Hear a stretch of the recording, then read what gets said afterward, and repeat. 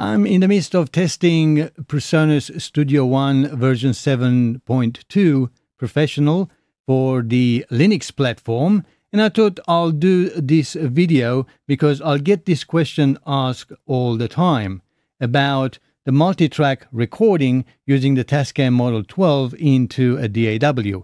I'm using Studio One, but this uh, answers the question to any DAW that you are using.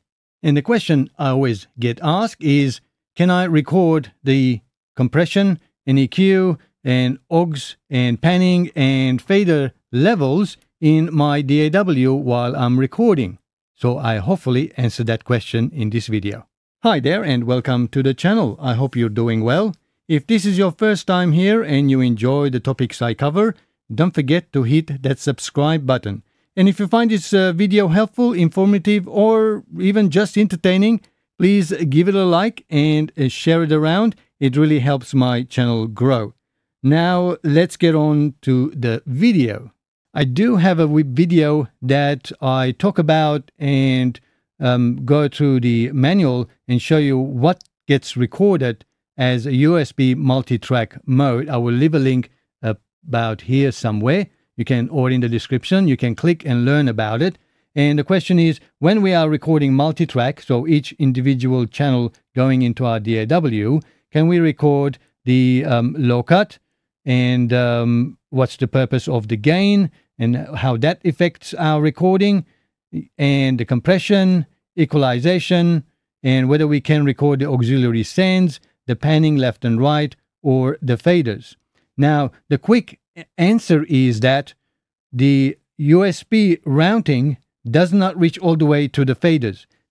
I hardly doubt any audio interface or mixer will allow you to do that because it just not does not make sense because the fader is feeding a mix bus into a stereo bus. So the le fader levels, as you will find out in just a moment, have no effect on to the recording level of into your DAW. Same goes with panning. It does not matter because panning is stereo field, left and right. And while you are recording in your DAW, especially a mono track like a microphone, uh, it's only one input, so it has no effect. That is something you uh, do in your uh, DAW.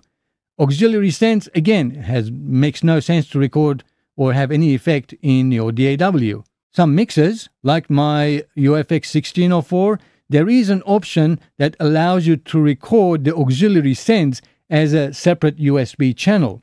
But that's for another topic. If you want to learn about it, I do have a whole series on UFX 1604 Behringer, which is no longer available. It's a discontinued model, but that's what used to do. But in model 12, 16, 24, none of that exists.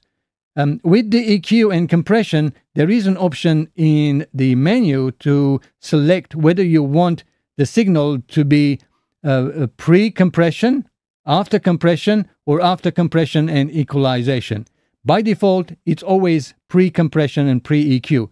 That way you are not printing any compression or any equalization that you are setting while you are uh, recording the live track. So that is something you can do later on. And in that video that I had the link uh, just uh, previously, explains the reason, my personal reasons why I've chosen that. So I do have tracks enabled. I've got eight microphones in my DAW that uh, I have eight microphones connected. And let's uh, give it a play. I'm going to turn all the faders down. And so you can actually see the inputs. These are my, here you can see my input levels here and these are my tracks armed ready for recording. So let's uh, press record and let our drummer start uh, to play. And we should be able to see some lights coming up as well as the inputs coming up here, the levels, but we cannot hear anything. That is because we have our faders down and our faders are uh, summed to the main output, which is also our headphone. So once we start turning the faders up, now we can hear it. And this is what is called direct monitoring. So even though we had our faders all the way down, no signal into our headphones or to the mains, we can see on the screen that it's still recording. And that recording level is determined by the gain. So if I start, uh, let's say, uh, turning down the kick, this is my kick, the first channel, you will see how the level goes down over here. Okay? And I can turn it up back to a nice uh, recording level. And that affects the recording. Same with the high cut. If I add high cut, that will also enable and print with the high cut on. So depending on what instrument you are recording, you got to make sure that you're not cutting sort of the low cut on kicks and so on. But anything else that I do, let's say I've got the kick here and or the snare, I can add compression and I can EQ the hell out of it. This will not affect the recording level because it's not set uh, post uh, EQ and compression. It's set by default pre-compression and pre-EQ.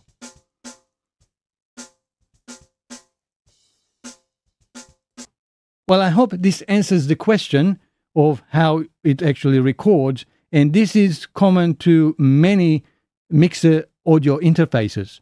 The signal usually goes pre everything else. I think in model 16 and 24 um, is after compression, by default as well because they are analog boards. You cannot set them in the menu. But with the 12 being a digital uh, system, there is an option to set where you want it. But for 16 and the 24 and, and many others, they are, I think, post compression. So you got to make sure that you don't add too much compression because that gets printed into USB in uh, audio into your DAW.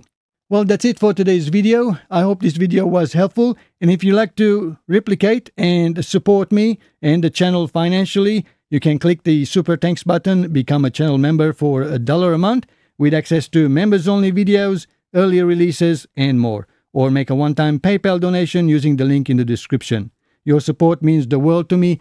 And as you may notice, most of my videos don't have monetization enabled or minimum um, ads uh, enabled because just like you, I also get annoyed with so many videos and videos length of 30 seconds or more.